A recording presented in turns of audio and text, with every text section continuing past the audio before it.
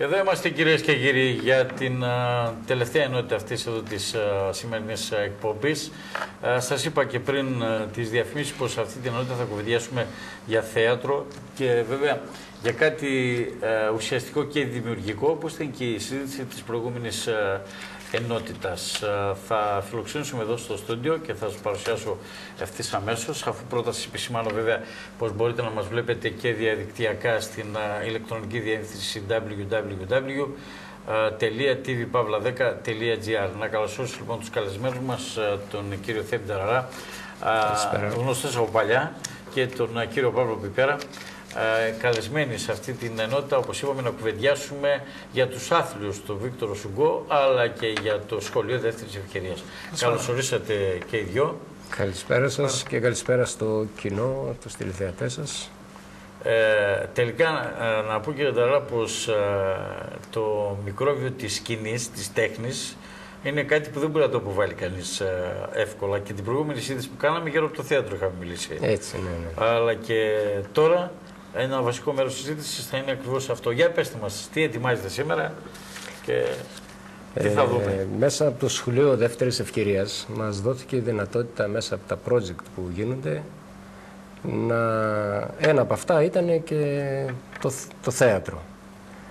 Ε, εγώ μπορώ να πω ότι αποκτήσαμε θεατρική παιδεία, που είναι πολύ βασικό. Δηλαδή, ό,τι θεατρική παράσταση παίζεται δεν περνάει έτσι ξόφαλτσα όπως περνούσε τα άλλα χρόνια. Ε, από τη μεριά μου, εγώ είμαι απόφυτος τώρα, τέλειωσα πέρυσι. Ωστόσο, είμαι δεμένος με το σχολείο, αρκετά δεμένος. Δηλαδή, κάπου, κάπου μια φορά, δυο την εβδομάδα περνάω. Και αυτό είναι το χαρακτηριστικό, ότι δεν είναι το σχολείο απλά πήγαμε για να μάθουμε κάποια γράμματα και τέλος. Υπάρχει ένα δέσιμο με όλους. Αυτό είναι ένα πολύ σημαντικό μήνυμα και Έτσι. αυτό προκύπτει και μέσα από το σύλλογο που ιδρύσατε. Είναι ένα κομμάτι που θέλω να το δούμε σήμερα, αλλά να δώσω λίγο το λόγο και στον πρωτάρι του σχολείου. Γιατί Σωστά. εσείς είστε Σωστά, απόφυτος, ναι, ναι, ο ναι. κ. Πιπέρας όμως ε, είναι στην ε, πρώτη τάξη του σχολείου δεύτερης ευκαιρίας.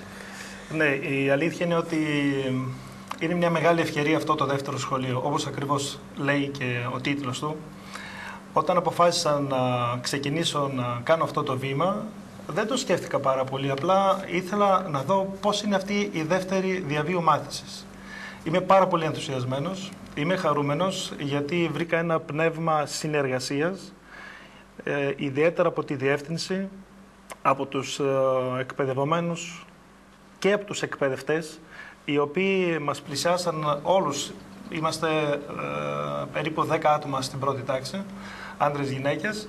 Δείχνουν πάρα πολύ ενδιαφέρον να μας βοηθήσουν και η διεύθυνση και οι ίδιοι εκπαιδευτές μας βοηθάνε με το παραπάνω για να μπορέσουμε να αντλήσουμε αυτή τη γνώση, αυτή την πηγή που την έχουμε ανάγκη όλοι μας. Και Πώς είμαι- το αποφασίσατε κύριε Πιπέρα και Ε, κάνετε αυτό το βήμα; Είναι, είναι, είναι μεγάλο βήμα, είναι σημαντικό Ναι, βήμα. είναι σημαντικό βήμα γιατί πρώτον εργάζομαι, δεν κάθομαι. Και οι περισσότεροι που είμαστε εκεί πέρα εργαζόμαστε. Και οι γυναίκες εργάζονται είτε στο σπίτι είτε έξω. Άρα είναι μια μεγάλη θυσία. Εγώ το αποφάσισα διότι μου χρειάστηκε ένα χαρτί, ένα πολιτήριο. Ενώ ασχολούμαι επαγγελματικά χρόνια τώρα στο εμπόριο, ήθελα να κάνω τι κάτι ασχολείστε; έξτρα. Έχω το κέντρο κυταρικής διατροφής που βρίσκεται μεταξύ Κορονίδος και Αλεξάνδρας Γωνία, προϊόντα γενής διατροφής κλπ. Αλλά ήθελα να κάνω κάτι έξτρα, κάτι επιπλέον. Εκεί μου χρειάστηκε ένα χαρτί, ένα πολιτήριο. Δεν το είχα και ξεκίνησα να πάω στο σχολείο. Είμαι πάρα πολύ ενθουσιασμένος. Δεν με ενδιέφερε καθόλου τι θα πει το περιβάλλον. Δεν Προλάβετε μ' την ερώτησή μου. Ε, ε, λογικό είναι και θέλω να μας το πείτε αυτό. Πώς, ε, το αντιμετώπισε, ε, πώς αντιμετώπισε αυτή την απόφαση σας στο φιλικό περιβάλλον, το οικογενειακό; Μμμ. Αρχικά πήρα την απόφαση χωρίς να ρωτήσω κανέναν. Ούτε φίλος, συγγενείς, κανέναν. Όταν το μάθανε, εξεπλάγησαν και εκείνοι. Πώς και το αποφάσισες και γιατί τώρα και τους εξήγησα. Αλλά υπάρχουν πάρα πολλά άτομα που διστάζουν να κάνουν αυτό το βήμα. Οι περισσότεροι συμμαθητές μου ντρεπότανε που ερχόταν στο σχολείο. Τι θα πει το περιβάλλον, τι θα πει ο γνωστός, ο φίλος κτλ. Εγώ δεν είχα αυτή τη δυσκολία και είμαι χαρούμενος γιατί όταν τους το είπα τελικά ε, και εκείνοι το χαρήκανε. Και μάλιστα είμαι σίγουρος ότι κάποια από τα άτομα τα γνωστά μου θα ακολουθήσουν αυτή την πορεία. Γιατί είναι Μακάρι. μεγάλο ποσοστό ανθρώπων οι οποίοι δεν μπόρεσαν να πάρουν αυτή τη βασική εκπαίδευση. Να γύρω στον κύριο Ταραρά που σημαίνει παλιά καραβάνα. έτσι. Λοιπόν, ο κύριος Πιπέρα όχι μόνο δεν το μετάνιωσε, δηλώνει ενθουσιασμένος. Αφού ξεπέρασε, δεν το σκέφτηκαν καν λέει. Ε, πέστε μου εσείς, να γυρίσουμε πίσω τώρα, είστε από Ένα να σας, χρόνο. να σας Ένα γυρίσω χρόνο πίσω στα μαθητικά τα Χρόνια. τα χρόνια και τα θρανία. Ε, εσείς είχατε αντιμετωπίσει έτσι, κάποιο, τέτοιο πρόβλημα στην αρχή, πώς θα το πάρει το οικογενειακό περιβάλλον, οι φίλοι σας; Ε, και τι, πώς το ξεπεράσατε αν όντως είχατε τέτοιο πρόβλημα στην αρχή; Εγώ θα γυρίσω κάνα δύο χρόνια πιο πίσω που είχε πάει ο αδερφός μου πρώτα. Ε, και εγώ κάπου το σνομπάρισα αρχικά, αλλά φτάνοντας στην πηγή και έτσι έβαλα κάτω τα πράγματα, λέω πρέπει να είναι καλά τελικά.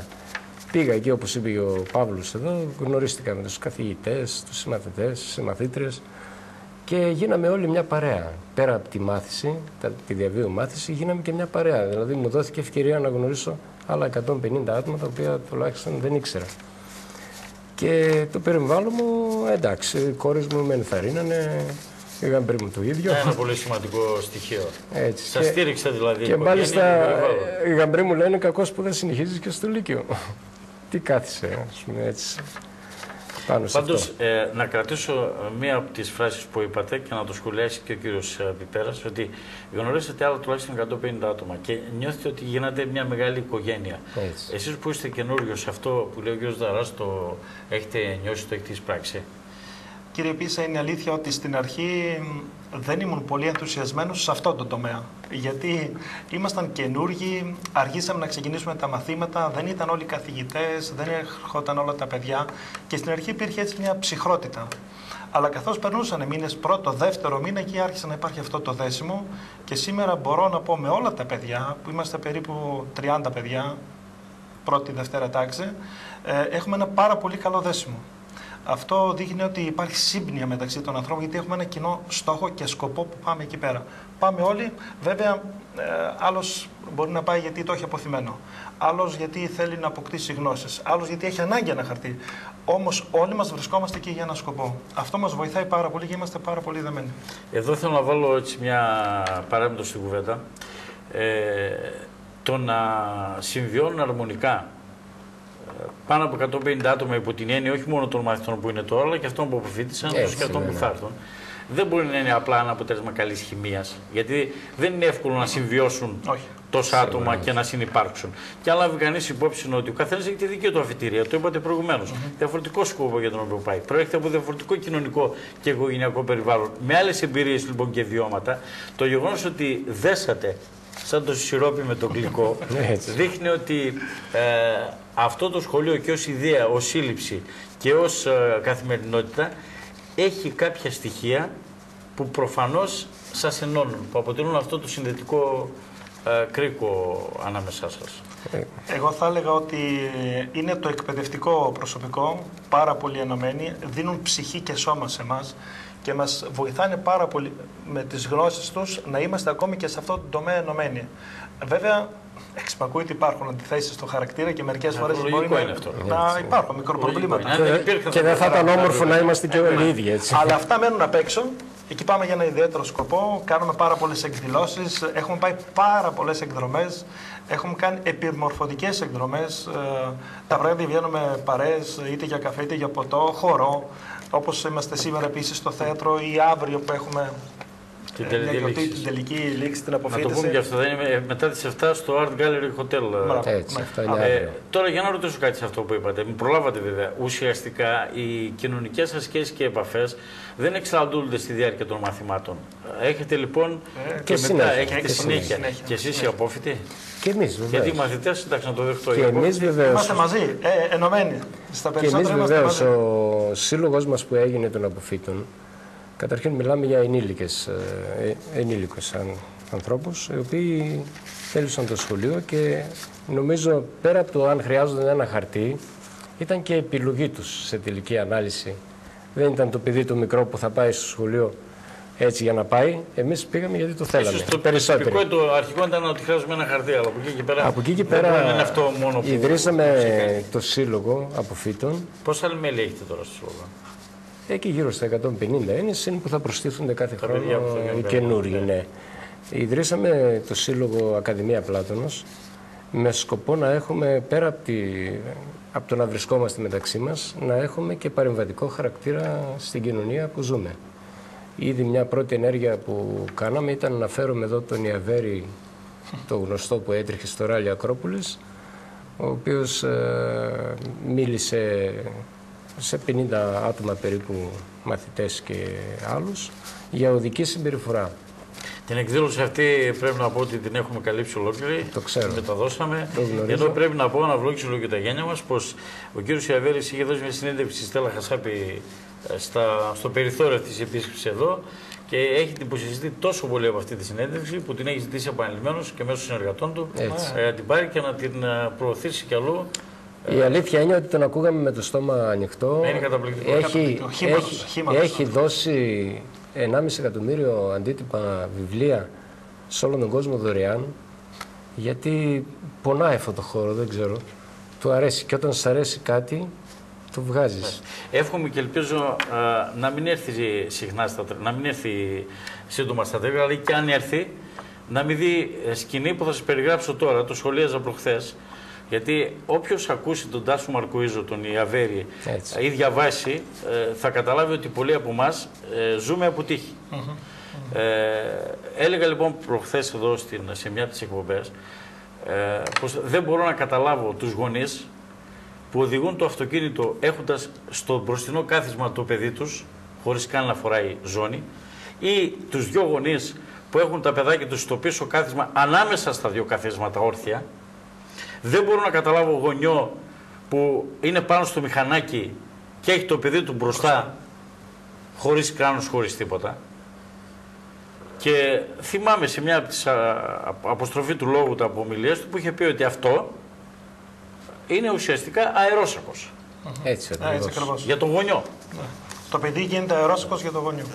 Και ακόμη χειρότερα, ε, στο τιμόνι ο πατέρας και το Κρατάει παιδί και στην το αγκαλιά του. Είναι φρίκι, στην αγκαλιά του τιμονιού. Ένα, Αυτό λέω, ε, ένα ελπίζω να μην έρθει χαρακτηριστικό. σύντομα, για να μου έρθει να μην τυχόν και δει αυτή τη Να μην δει σκηνή. αυτά. Γιατί θα πάθει κανένα κεφαλικό άνθρωπος και θα έχει Συμβαίνουν δίκιο. παντού, δεν είναι μόνο σε εμάς. Παντού βέβαια. συμβαίνουν αυτά. Γι' αυτό και Εντάξει. αυτός ο άνθρωπος κάνει αυτόν τον τεράστιο αγώνα να μας μάθει να οδηγούμε. Πώς είναι η οδική συμπεριφορά να μάθουμε. Και είναι προ τιμή σας που τον φέρατε. Έτσι, ένα Το χαρακτηριστικό κάνατε- που θυμάμαι εγώ είναι λέει, όταν τρέχεις με 35 και γίνεται με τοπική, είναι σαν να πέφτεις από τρίτο όροφο.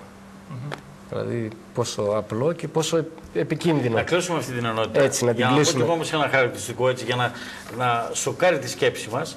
Κάθε χρόνο από τροχαία ε, δυστυχήματα μένουν, ε, δεν φτάνουν στο, Πόσοι ανάπηροι στο θάνατο, και- αλλά μένουν ανάπηροι τόσοι όσοι είναι οι κάτοικοι μιας πόλης σαν την Καλαπάκα. Έτσι, έτσι ακριβώς. Σκεφτείτε Πάρα λοιπόν, ας κλείσουμε Έτσι τα μάτια ακριβώς. μας και σκεφτούμε την Καλαμπάκα να αποτελείται μόνο από ανθρώπους οι οποίοι έχουν πάθει ε, ατύχημα και έχουν μείνει ε, ανάπηροι. Στα πλαίσια αυτά λοιπόν, εμείς ε, σαν σύλλογος ε, ήδη έχουμε κρυμεί μια αίτηση προς ένα τμήμα ογκολογίας ε, στα κεντρικά στην Αθήνα που θα έρθει ένα βάν ιατρικό εδώ να εξετάσει όχι μόνο τις μαθήτριες του σχολείου αλλά και όλες τις τρικαλινές γυναίκες δωρεάν γιατί ζούμε και βιώνουμε μια κατάσταση κρίσης ανεργίας και όλα αυτά και προσπαθούμε να προσφέρουμε Και και, καλά εμείς κάνετε. μέσα από εκεί. Και βέβαια να σα προτείνω εσεί στον αέρα, αν δεν το έχετε κάνει, να το φροντίσετε να το κάνετε άμεσα, να φτιάξετε, να φτιάξετε και μια τράπεζα αίματος για τους. Ήδη είναι η επόμενη σκέψη. Το έχουμε για συζητήσει τα ήδη με... μέλη σας και για τις οικογένειες. Το έχουμε συζητήσει ήδη. Είναι ένα δέσιμο παραπάνω ακόμα, Έτσι, ακριβώς. φαντάζομαι. Ε, τώρα, μια που είπατε για το εκπαιδευτικό προσωπικό, εδώ θέλω να πω πως ε, είναι ένα από τα μυστικά της επιτυχίας ε, του σχολείου. Ε, ο τρόπος με τον οποίο επικοινωνεί μαζί μας ο διευθυντής ο κ. Κατσίκας, ε, να μας ενημερώσει για ε, τα προγράμματα, για τις εκδηλώσεις, για όλα, ε, δείχνει και φαντάζομαι αυτό αντανακλά και τις διαθέσεις και των υπολείπων καθηγητών, ότι οι άνθρωποι εκεί ε, κάνουν κατάθεση ψυχής. Ναι, ότι έτσι δουλεύουν με ακριβώς. μεράκι και ότι αυτό δεν το κάνουν από υποχρέωση. Όχι. Να πάει ένας καθηγητής δηλαδή να κάνει το, τι- το ωράριο του και να φύγει. Αλλά καταθέτουν ψυχή εκεί. ψυχή και σώμα καταθέτουν γιατί βλέπουν ότι και εμείς κάνουμε τεράστιες προσπάθειες γιατί αφήνουμε τη δουλειά μας ή έχουμε επιστρέψει από τη δουλειά και πάμε εκεί πέρα και δίνουν ψυχή και σώμα αυτοί οι άνθρωποι να μας βοηθήσουν να κατανοήσουμε τα βασικά πράγματα. Δεν θέλουν να γίνουμε φουστήρες, αλλά αυτά τα απλά βασικά πράγματα έχουν τέτοια μεταδοτικότητα και τέτοια μέθοδο που χρησιμοποιούν που και ένα απλό παιδάκι μπορεί να καταλάβει πάρα πολύ. Πετε μου όμω κάτι και Όλα. πρακτικά, απευθύνω στον κύριο Ταράρα που είναι απόφυτο. Υπήρχαν ε, άτομα τα οποία πήραν το χαρτί, πήραν το πτυχίο και αυτό τους χρειάστηκε πρακτικά. Δηλαδή τους άνοιξε κάποιους δρόμους που μπορεί να κλειστεί πριν. Ε, Εγώ θεωρώ, προσωπικά δεν μου χρειάστηκε, αλλά ε, επειδή υπάρχουν ε, σε ηλικία από 35 και κάτω αρκετά παιδιά, να το πω, ε, αυτοί όπου χρειαστεί να κάνουν κάπου τα χαρτιά τους, με δεδομένο ότι από το 82 και μετά όσοι τέλειωσαν το δημοτικό τελευταία ε, κατώτερη εκπαίδευση θεωρείται πια το γυμνάσιο, σίγουρα τους χρειάστηκε το χαρτί. Ο Παύλος το είπε νωρίτερα, ότι χρειάζεται το χαρτί να ανοίξει μια επιχείρηση επιπλέον. Κάποιοι το χρειάστηκαν σίγουρα. Να, το να, πω, χρειάστηκαν. να προσθέσω κάτι. Πέρα από το ότι ε, το απολυτήριο χρειάζεται για πρόστιμη σε κάποια εργασία, υπάρχουν άτομα που έχουν ε, περάσει σε πανεπιστήμια. Έχουν περάσει σε ανώτατα εκπαιδευτικά ιδρύματα, έχουν περάσει σε Πανεπιστήμιο Αθήνα, Θεσσαλονίκη και σπουδάζουν ε, στη νομική, στην ιατρική. Είναι μια μεγάλα άτομα σε ηλικία. Μια συνέχεια, Είναι, είναι κάτι που δεν θα μπορούσε να γίνει διαφορετικά αν δεν υπήρχε αυτό το σχολείο. Ε, έδωσε και έτσι μια κοινωνική διέξοδο, μια κοινωνική αναγνώριση άλλους δρόμους σε άτομα τα οποία πιθανόν επειδή δεν είχαν ε, αυτό το χαρτί ένιωθαν άβολα, ένιωθαν έτσι, κατώτερα σε κάποιες περιπτώσεις. Ναι. Ε, Αυτό ισχύει. Αυτό είναι σίγουρα Ισχύει. ότι δόθηκε γιατί μπορείς να σταθείς σε μια συζήτηση επάξια μαζί με κάποιους άλλους. Ε, νομίζω ότι όλοι κερδίσαμε από αυτή την υπόθεση. Η πολιτεία βλέπει το στηρίζει το σχολείο. Το, το λέω τώρα εν ώψη κρίσης, γιατί με τις Να, περικοπές σ- που να υπάρχουν. σημειώσουμε ότι είναι όλα δωρεάν εκεί πέρα στο σχολείο. Το Δεν υποστηρίζει, πληρώνει, ναι. δεν Το πληρώνει υποστηρίζει. κανένας Πάρα πολύ. τίποτα. Μπράβο, είναι σημαντικό. Ακόμη Ότι και τα Δεν έχει τετράδια πληγεί μας- αυτός ο θεσμό. Όχι, όχι. Όχι. Τα τετράδια μας, τα μολύβια, τα βιβλία, τι χρειαζόμαστε είναι όλα δωρεάν. Οι εκδρομές μας είναι δωρεάν. Τα πάντα Θα ήθελα όλα να έτσι. επισημάνω δύο εκπαιδευτικές εκδρομές. μου δόθηκε ευκαιρία να το δω τώρα κι εγώ. Ε, επισκεφτήκαμε μια ημερήσια εκδρομή στη Θεσσαλονίκη, πήγαμε στο πλανητάριο, στο Νόησες. Ε, μας ξεναγήσανε, είδα μια ταινία σχετικά με το περιβάλλον, τη θερμοκρασία που έχει αναπτυχθεί στο περιβάλλον και τι μπορούμε να κάνουμε. Επίσης, μια δεύτερη εκδρομή, όλα αυτά ήταν δωρεάν. Μια δεύτερη εκδρομή ήταν μεγάλη ευκαιρία για μένα να πάμε στην Αθήνα, να μπούμε μέσα στη Βουλή.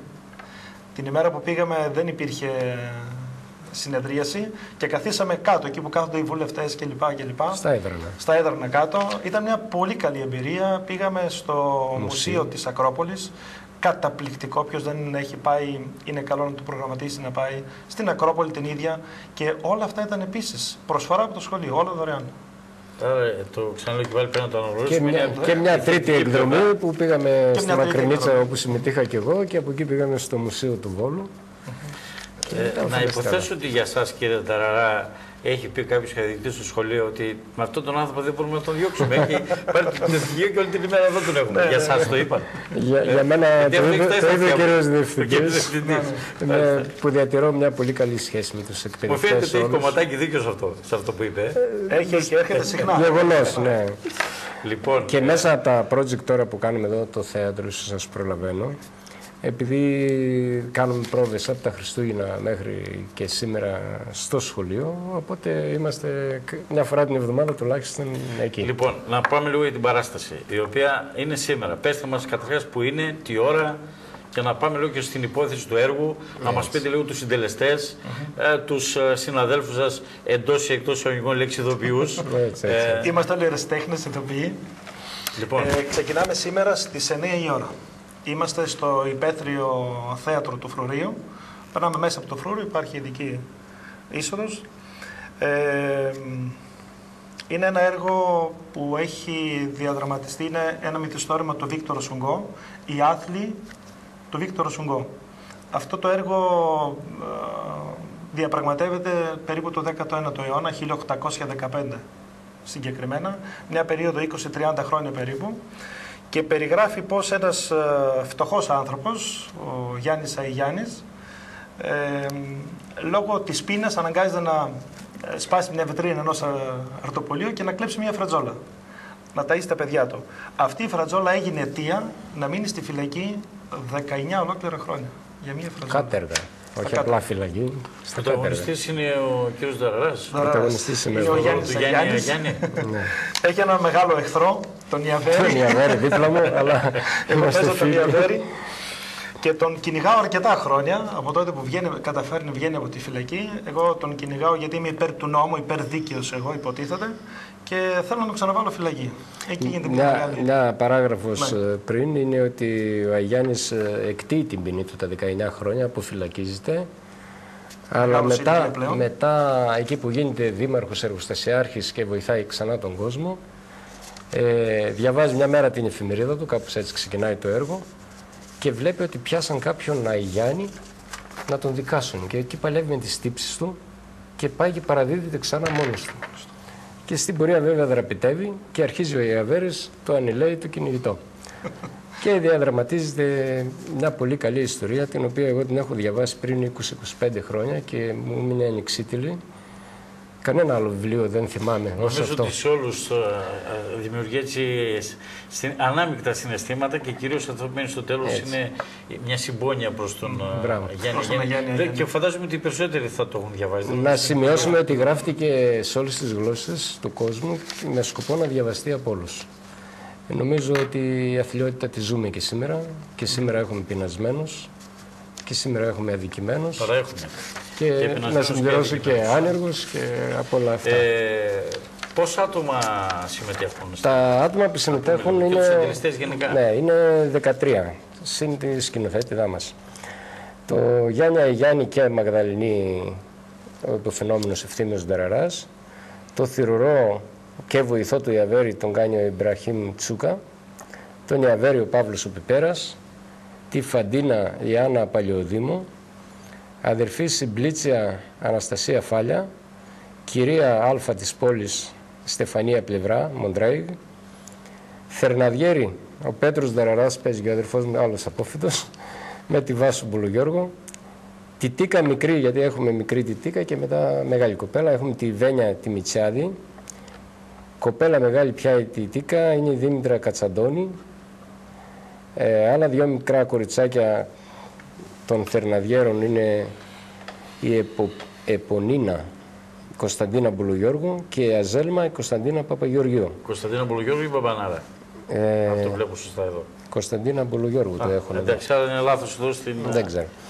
Και τον επαναστάτη τον κάνει ο Μάριος, το Μάριο Πομερσή, ο Θανάσης ο Δαλκαφούκης. Τώρα αυτά τα μικρά τα παιδ- κορίτσια που είπατε είναι παιδιά. α, Εκπαιδευμένο. εκπαιδευμένα. εκπαιδευμένο. Αρκετές γυναίκες πάντως συμμετέχουν στο Ναι, έργο. είναι σκηνοθεσία είναι από τη Δήμητρα τη Βαριάμι, μια, Καθηγήτριά μας. μια γυναίκα Η πολύ, Δήμητρα Βαριάμι την έχω φιλοξενήσει στην εκπομπή μας. πολύ με τον κύριο δημιουργική, Βατσέκα. πολύ Την έχει δημιουργική. εντυπωσιάσει πραγματικά και αυτή με το Ακούραστη. ίδιο πάθος και μεράκι Πολύ που έχει Κούραστη στο και με σχολείο. πολύ μεράκι και το έχει Βέβαια. δουλέψει πάρα πολύ καλά το έργο που να φανταστείτε το Πάσχα, τη Μεγάλη Παρασκευή το έδειχνε το Μέγα και εγώ το ζούσα από μέσα γιατί ε, παράλληλα κάναμε τις πρόβες. Παίζαμε και βλέπαμε. Να πω λίγο για τα σκηνικά ότι τα δημιουργήσαμε ο Αντώνης ο Σμπέκος, ο Αποστόλης ο Ναζίφης, εγώ ο Ευθύμιος Ντεραράς και κάποια ομάδα εκπαιδευμένων που βοήθησε. Την επιμέλεια της χορογραφίας την έχει η Ιωάννα Ιτσεργή, Από την Ακαδημία Τέρψης. μπράβο ναι, Ακαδημία Μάλιστα. Τέρψης και στη χορογραφία χορεύει η Μαρία Ιτσου και ο Ερωτόκριτος Σαπουνάς. Τώρα, ε, υπερπαραγωγή καταρχάς είναι γιατί είναι Πολλά πάρα πολλά. άτομα, άτομα. ναι, ναι. Ε, είπατε το Πάσχα ότι το βλέπατε Είχε στο Μέγα. παιχτεί η ταινία, ναι, Πόσο, από πότε έχετε ξεκινήσει και κάνετε πρόβες. από τα Χριστούγεννα. Από τα Χριστούγεννα για να βγει Ναι, το... μία φορά την εβδομάδα, ένα-δύο ώρο, κάπως έτσι. Σιγά Πολλές σιγά. πρόοδε, πάρα πολλές πρόοδε. Ε, και στις διακοπές του Πάσχα και εκεί κάναμε. Η επιλογή του έργου έγινε από την κυρία Βαριάμι; Την επιλογή τη συζητήσαμε όλοι μαζί τα παιδιά και η κυρία Βαριάμι. Ήταν η πρόταση της κυρίας Βαριάμι και καταλήξαμε να παίξουμε αυτό το έργο, το οποίο εγώ το υπεραγαπώ. Να πούμε ότι κάθε χρόνο ετοιμάζει- ε, ανεβάζεται και από ένα έργο. Ναι, είναι, κάθε χρόνο είναι η έκτη, έβδομη χρονιά τώρα που... Η θεατρική ανεβάζει. ομάδα απαρτίζεται από αυτά τα άτομα που συμμετέχουν ή είναι και άλλα άτομα; Ε, Η στο συγκεκριμένη- συγκεκριμένο έργο είναι και κανένα δυο άτομα, δηλαδή χρειαζόμασταν ένα νεαρό επαναστάτη, οπότε έπρεπε να πάρουμε ένα νεαρό Μάλιστα. απ' έξω. Και... Ε, να πω βέβαια ότι το σχολείο της ευκαιρίας δεν έχει μόνο θεατρική ομάδα. όχι, Ε, βέβαια, για να μην έχει- αδικήσουμε και έχει τις άλλες πάρα πολλά δραστηριότητες, έτσι, project. έχει- Έχει τρία-τέσσερα project που γίνονται κάθε χρόνο. Ο Παύλος θα μας πει. Τι Ε, γίνεται φέτος, για πετε μας λίγο. Έχει να κάνει με. μ, Έχουμε τον κύριο Γούλα, ο οποίος είναι γεωπόνος και κάνει ένα project σχετικά με τη διατροφή, τη μεσογειακή διατροφή. Τι είναι η μεσογειακή, μεσογειακή διατροφή, Ε, πώς, ενώ ξεκίνησε από εδώ, εμείς δεν έχουμε τη μεσογειακή διατροφή. Εμείς την την έχουμε ξέρουμε, χάσει. αλλά κανένας δεν την ε, υιοθετεί. Έχουμε μάθει για την ε, πυραμίδα της ε, μεσογειακής διατροφής, της υγιεινής διατροφής και πώς εμείς την έχουμε αντιστρέψει. Όλο αυτό είναι ένα έργο που πάρα πολλά παιδιά έχουν κάνει πάρα πολλή έρευνα, μελέτη και έχουν κάνει ένα σαν ε, άλμπουμ θα το έλεγα που έχουν όλες τις μελέτες εκεί πέρα. Επίσης, ε, έχει γίνει ένα άλλο project ε, από την ε, πλευρά της ε, κυρίας ε, Έγκλης. Έγλης, Χατζή Έγκλη, Έγλη αγγλικά. Χατζή, που έχει να κάνει με τα ΜΜΕ, ΜΜΕ, μέσα μαζικής ενημέρωσης, σχετικά με την αγγλική γλώσσα, Τις ξενόφερτες μπήκε πινακίδες, η, πώς πινα- η διαβάζονται. ξένη γλώσσα πώς μπήκε στην ελληνική ε, διάλεκτο μέσω των μέσων μαζικής ενημέρωσης και επίσης ακόμα ένα project που έχει ε, να κάνει με ε, το τι μπορούμε να κάνουμε όλοι μας αν θέλουμε να προστατεύσουμε τον εαυτό μας, τα παιδιά μας από τα ναρκωτικά. Είναι μια μάστιγα της εποχής και ε, μάθουμε πάρα πολλές λεπτομέρειες ε, και μέσω ε, ψυχολόγων οι οποίοι έχουν έρθει κατά καιρούς και μας ε, κάναν διάφορες διαλέξεις πόσο επικίνδυνο είναι και πώς πρέπει κανείς να αποφεύγει αυτή την παγίδα. Έχει Τώρα πάρα θέατρο πολλές έχετε, δραστηριότητες. ορχήστρα δεν έχετε; Μια ορχήστρα δεν έχουμε ορχήστρα. Έχουμε ένα κλαρίνο προς το παρόν. Έχουμε και ένα μπουζούκι. και παίζει και πλήκτρα ο Παύλος, δεν παίζεις; Όχι. Όχι. Ε, λοιπόν, εγώ θέλω να σε ευχαριστήσω για την κουβέντα που είχαμε. Ε, Πριν κλείσουμε, να πούμε λίγο για την παράσταση πάλι όμως στους Ε, φίλους πιθανών των Αλέξανδρων. Η παράσταση Η είσοδος είναι ελεύθερη. ελεύθερη; Είναι Είσοδος ελεύθερη ελεύθερη. είσοδος. Μμμ. Η παράσταση γίνεται απόψε στις 9 στο Δημοτικό Ανοιχτό Θέατρο του Φρουρίου. Καλούμε όλους τους εργαλειούς να έρθουν την παρα- να την παρακολουθήσουν. Είναι ένα πολύ καλό έργο. Εμείς σαν ερασιτέχνες του παίζουμε με μεράκι. Δεν έχουμε σκοπό το κέρδος. Και σε αυτή την κατάσταση που βιώνουμε όλη την ανεργία, την ανέχεια, τη φτώχεια, καλό είναι να βγάλουν απόψε τις γυναίκες τους οι άντρες έξω και να έρθουν να δουν το θέατρο στο Φρούριο. Πάρουμε ένα δίδαγμα όλοι μας. Λοιπόν, να είστε καλά. Να πω κάτι, να προσθέσω Βεβαίως. κάτι στο Και να, τέλος. και να ευχαριστήσω, κάνω μια- συγγνώμη, λίγο να ευχαριστήσουμε και εσάς που προβάλλετε το καλό και το σχολείο της δεύτερης Ε, ευκαιρίας. νομίζω ότι είναι στοιχείο τη υποχρέωσης να το κάνουμε αυτό. Όχι όλα τα Είναι- είναι κανάλια. καλό παράδειγμα. Όχι όλα τα κανάλια, κυρίως τα μεγάλα, αν παρακολουθήσεις κανείς, βλέπει τι πουλάει. Δεν βλέπει το καλό, δεν το προβάλλουν καθόλου. Ε, κύριε Ο Πίς, εγώ καθένα θα, κάνει τις επιλογές του, κύριε Ταραλά. Σωστά. θα ήθελα να κάνω μια ανοιχτή πρόσκληση ε, σε πάρα πολλούς ανθρώπους οι οποίοι ενδεχομένως θέλουν να πάνε στο σχολείο αλλά ντρέπονται. Θα ήθελα να τους πω να μην υπολογίσουν κανέναν, να κοιτάξουν τον εαυτό τους, γιατί το σχολείο αυτό θα τους δώσει μια μεγάλη ευκαιρία να ανοίξουν τα φτερά τους, να δουν και άλλα πράγματα, να δουν πάρα πολλές λεπτομέρειες της ζωής και ας μην υπολογίζουν τους άλλους, ας κάνουν αυτό που τους λέει η καρδιά τους. Και επειδή, και επειδή πολλοί επικαλούνται ότι «Ε, μα είμαστε άνεργοι τώρα, σχολείο μας μάρανε. Εγώ θα τους συμβούλευα να, από το να κάθονται στο καφενείο όλη μέρα και να κλαίνει τη μοίρα τους, είναι καλύτερα να πάνε στο σχολείο, να έχουν κάποιες ώρες απασχόλησης και όπως είπε και ο Παύλος, ανοίγουν, ανοίγει και το μυαλό περισσότερο και ίσως κάτι άλλο δημιουργήσει στη ζωή. Ας μην χάνουμε την ελπίδα μας. Ε, θα αλλάξει η κατάσταση ξανά, δεν μπορεί να συνεχιστεί. Να είστε καλά, σας ευχαριστώ πολύ για τους δυο. Συγχαρητήρια για την προσπάθεια που έχετε καταβάλει εσείς, κύριε Ταραρά, ως απόφυτος, εσείς, κύριε Πέρα, ως νυν μαθητής. Ε, νομίζω ότι ε, στο πρόσωπο τα δικά σας οφείλω να δώσω συγχαρητήρια σε όλους αυτούς τους ανθρώπους, άντρες και γυναίκες, που πήραν ε, το πτυχίο ή βρίσκονται αυτή την ώρα στο σχολείο. Και στείλατε ένα πολύ καλό μήνυμα για αυτούς που το σκέφτονται Μπράβο. ε, να μην διστάσουν, Να μην διστάσουν, να το το κάνουν αποφασίσουν. και γιατί όχι να είναι το χρόνο αυτοί οι πρωταγωνιστές Μπράβο. στο Σωστά, θέατρο σωστά. και όχι ο κύριος Ταραρά. λοιπόν, να είστε καλά, σας ευχαριστώ πολύ. Και εμείς ευχαριστούμε πολύ. Κυρίες και κύριοι, στο σημείο αυτό φτάσαμε και σήμερα στο τέλος της εκπομπής. Εμείς θα ανανεώσουμε το ραντεβού μας για αύριο στις 3 το μεσημέρι. Μέχρι τότε να είστε καλά, γεια σας.